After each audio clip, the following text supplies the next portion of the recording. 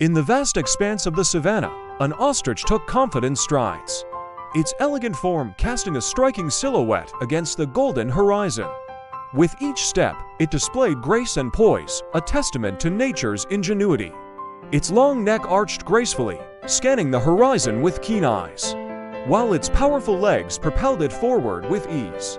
In this untamed landscape, the ostrich embodied the essence of freedom, a majestic creature in its natural habitat.